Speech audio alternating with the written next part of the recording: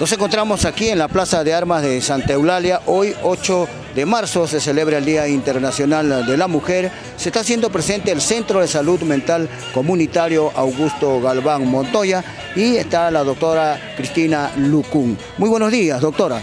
Muy buenos días, gracias por esta entrevista, siempre dando a conocer a nuestro centro, de, a nuestro establecimiento de salud mental comunitario, que estamos recién aquí en Santa Eulalia hace cuatro mesecitos, pero con todo el apoyo para todo el personal de acá de Santa Eulalia. ¿no? ¿Cómo está el trabajo que se está realizando? Sabemos pues que están iniciándose, pero ¿cómo están esos, estos principios para el funcionamiento de, de este centro de salud mental comunitario?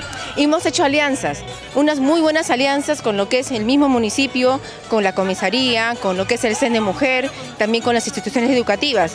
Hace poco tuvimos una reunión con todos los eh, eh, directores de acá de Guarochirí.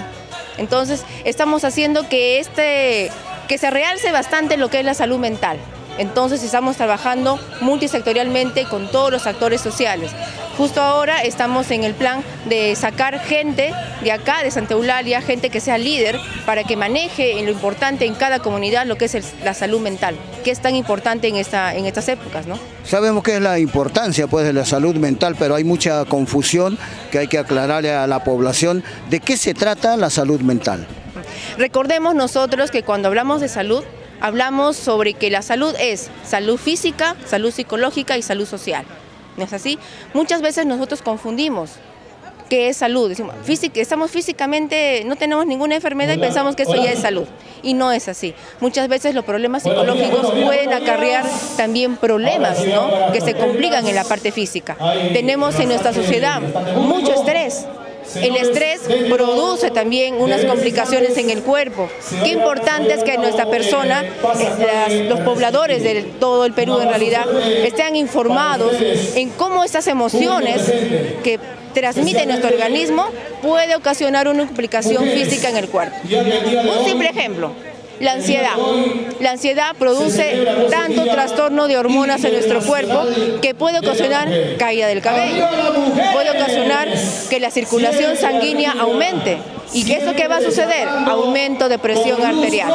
Eso quiere decir que si nosotros desde ahora, desde salud mental, empezamos a educar a las personas qué tan importante es que controlemos nuestras emociones, vamos a empezar a controlar muchas enfermedades crónicas que en nuestro país se resalta bastante. ¿Dónde está ubicado este centro de salud mental? El centro de salud mental está ubicado justo en la entrada de aquí de Santa Eulalia, en la curvita, en donde antes era el eh, pertenece al local este de la Universidad Villarreal ese local nos han prestado. Justo es el teléfono de nuestro centro es el 942-330-394. Informarles también que nuestro centro es un centro especializado. Por tal motivo, las asistencias son con hojas de referencia. ¿no? Nosotros atendemos diagnósticos de moderado, grave, severo, pero de forma ambulatoria. Aquellos usuarios que vienen con un diagnóstico de leve, los apoyamos y los derivamos al centro de salud correspondiente. Hacemos un llamado a todos nuestros compañeros, a toda la población, a todas las mujeres, los niños, adultos, mayores también, que estamos trabajando con ellos arduamente. Estamos justo en ahora armando un club del adulto mayor, que Santa Eulalia lo necesita. Entonces les hago la invitación a nuestro Centro de Salud Comunitario Augusto Agar Montoya, nos vamos a recibir con las puertas abiertas para que la salud mental en el hogar resalte mucho.